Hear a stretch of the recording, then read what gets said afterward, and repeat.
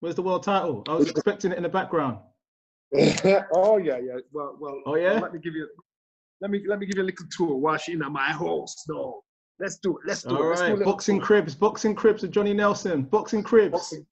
Boxing. That's a clever. So, is where we. Yeah, hold on, hold on, hold on. So that's where I won the title off Thompson. Oh, Carl poster in my Thompson. Yeah. Yeah, put this post in my house because every picture tells a thousand stories. And I knew what he, I was thinking, and I know what he was thinking because in that picture right there, he was clenching his fists. and just They want to fucking. And I'm talking out the side of my house, saying, "You puss, you all." I'm trying to wind him up, make him angry. Uh, that's from the WBO. It was a certificate of, of achievement in regards to uh, what I did. I went out to Las Vegas to, to get that. It was basically because I made all those defenses in my world title. Uh, uh, this is a glove signed by Anthony Joshua and it's Lewis Deontay Wilder. And I don't know why they made me sign it, but I got it signed. I should have got. ah, there's only uh, Tyson Fury's that's not, not on there.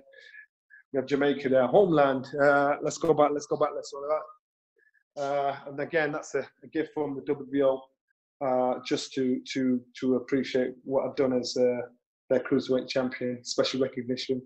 Uh, that's the post of my last fight uh, Oh, against Cantatore out in Rome. And and the reason why I put that one in the frame is because uh, it was the one fight I really, really enjoyed. And I don't know, I'm trying to explain that.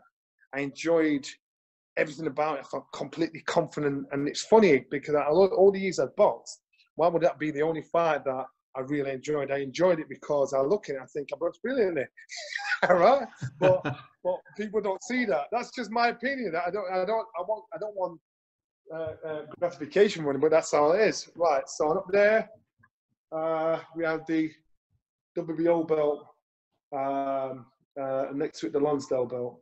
So with the Lonsdale belt next to it, I won that twice in the space of ten years, and, and won it to the point where you where you keep it. So I had two of those, and so the other one I gave it to uh, to Prince Naseem Hamed when we were all cool at the time uh, as a gift because I thought this guy's got everything, and I said, "Here, wear this." So I gave him as a gift. So he has one of those in his house uh, as a gift, um, and that is a European title, uh, which again another Oh. thing I won. Uh, I won uh, ten years apart, um, and so I gave the original one to Brendan um, uh, because to me, again, I uh, it was a tough time. It was a tough fight. A young Barry Hearn came in there, came there with his dad. Uh, sorry, a young Eddie Hearn came there with his dad, uh, who was my promoter at the time, and uh, and Barry, cool guy. You think Eddie's good? Barry's a badass. Trust me, he's smart, sharp, on his point. And me, Barry Hearn, Brendan Ingle, uh, Jed, uh, Herol Graham with my corner. We had such a good time. And, and Barry's running about, uh, Eddie's running about the place like some little bad schoolboy. So we should have known that this boy was going to be trouble. Um, uh, and so uh, that was a tough fight as well against Marcus Bott. So I gave that belt to Brendan, uh, the first belt, and then when I won it again, I kept the settled belt, second belt.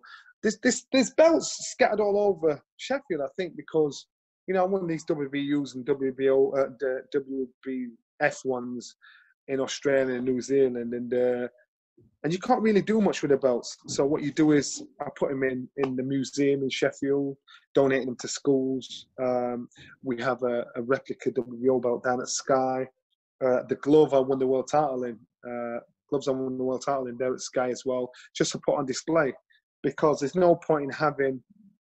It's like having wisdom and not sharing it. Uh, Mm. Having success like this and not sharing. It's like having a Porsche and keeping it covered up in your garage. You know, it's not you. you it's not that you're showing off. You want people to see this. You want people to see uh, see what you got. Oh, there's one more here.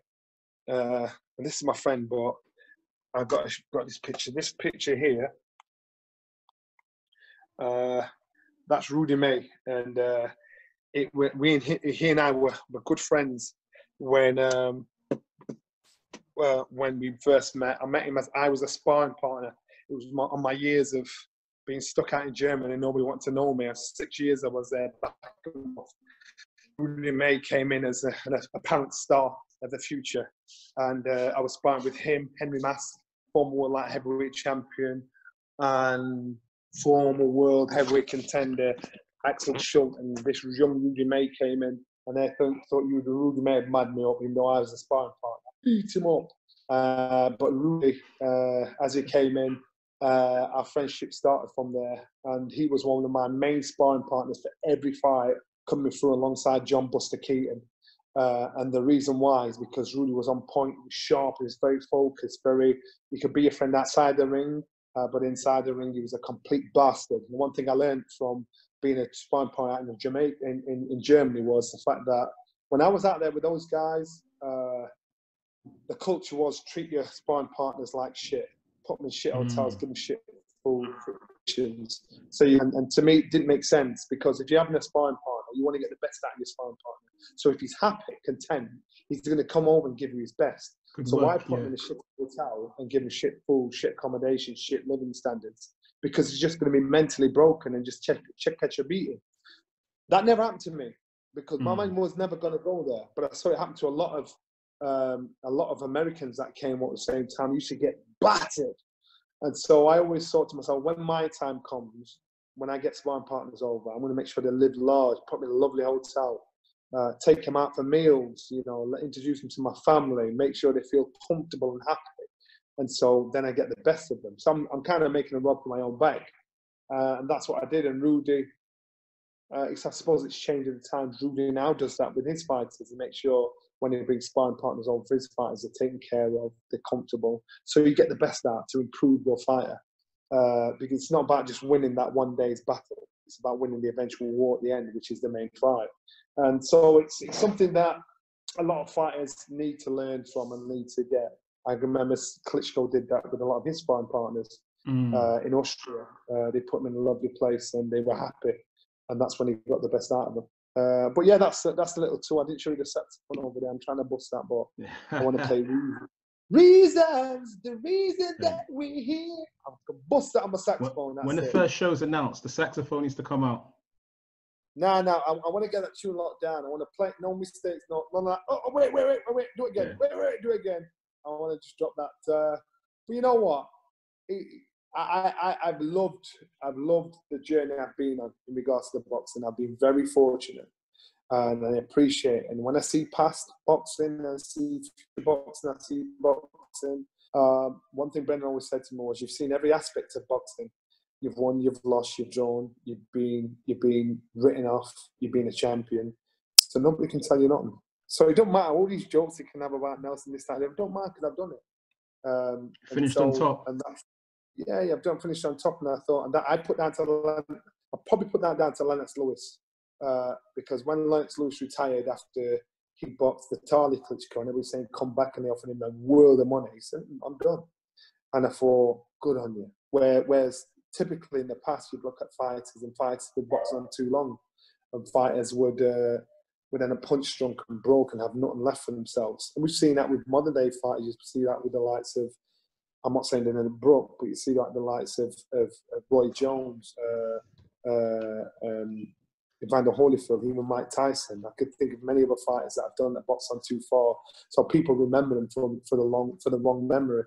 I think I retired at the right time, um, mm. uh, and uh, and I think Lennox Lewis really set set the stall out. Hey, I've got one thing to show you before I go.